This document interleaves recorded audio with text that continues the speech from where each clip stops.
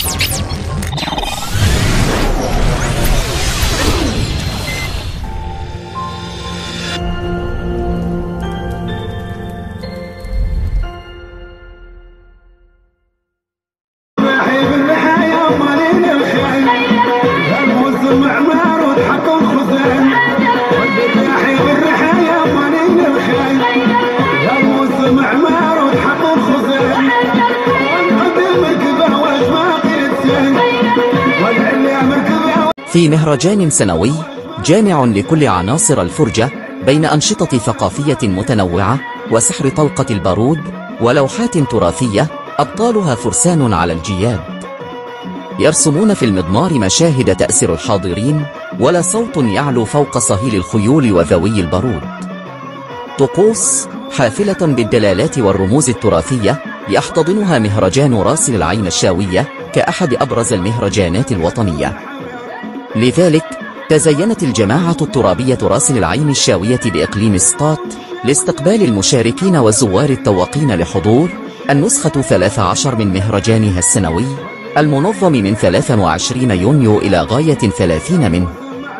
تظاهرة تأسست منذ سنوات خلت لتتحول إلى فرصة لخلق نموذج تنموي خاص بالمنطقة. لذلك سنحاول اختزال بعض صور هذا الجمال في التقرير الذي أعده طاقم سكوب ماروك من قلب جماعة راس العين الشاوية.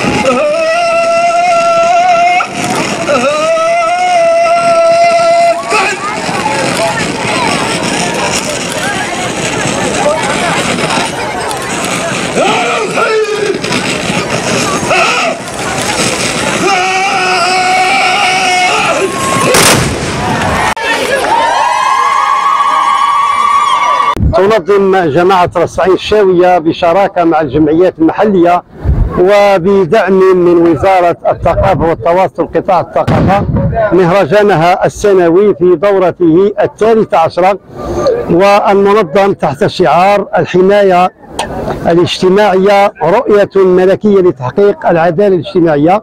هذا المهرجان انطلقت الفعالية ديالو منذ الثالث والعشرين يونيو وستستمر إلى غاية يوم الأحد 30 يونيو 2024 نحن كمجلس وكإدارة المهرجان منذ الدورة بمعية الجمعيات المحلية منذ الدورة السادسة ما بقاش عندنا المهرجان وسيلة من وسائل الترفيه.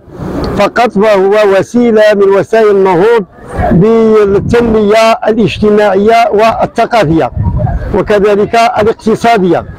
فضلا عن ذلك فالمهرجان منذ تصنيفه من ضمن المهرجانات على المستوى الوطني أصبح كيلقى الدعم ومن طرف الوزارة الوصية من طبيعة الحال وزارة الثقافة والتواصل والشباب في شخص قطاع الثقافة.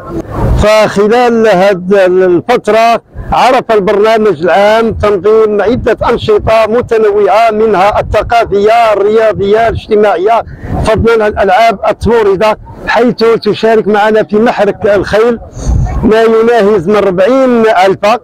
جاتنا من ربوع أنحاء المملكة المغربية وبالتالي فالساكنه ديال جماعة راس العين وكذلك فعالية المجتمع المدني اللي كتعتبر السند الرئيسي في تنظيم هذه التظاهرات الحمد لله آه، الكل متجند الكل يعني آه، آه، تجند خلال هذه أزيد من شهرين من أجل إنجاح هذه التظاهرة الثقافية الكبرى. حقيقة كان هناك من يختلف معنا في الرأي كيقولوا المهرجان وسيلة من وسائل إهدار المال العام.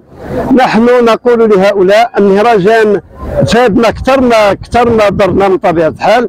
هناك فوائد هناك نهضه اجتماعية ثقافية رياضية وبالتالي ف البرنامج العام أيضا كيتضمن أنشطة فنية آه، خلال أربع أيام آه، بمشاركة مجموعات فولكلورية محلية ووطنيه وهذه الفرق كاملة كلها غادي تخلصها وزارة الثقافة. وبالتالي فالجماعه كيبقى عندها دور معنوي ولوجستيكي آه، هذا هو اللي كاين. ختاما أود باسم الخاص وباسم المجلس الجماعي. وباسم الجمعيات المحلية وساكنة جماعة رصعيد الشاويه أن نستغل حلول ذكرى جلوس صاحب الجلالة الملك محمد السادس نصره الله على عرش أسلافه الميامين طالبين من الله جلت قدرته أن يعيد امثال أمثال هذه الذكرى على جلالته وأن يحفظه في سمو ولي عهده الأمير المحبوب مولاي الحسن وشقيقه السعيد الأمير مولاي رشيد وسائر أفراد الأسرة العلوية المجيدة.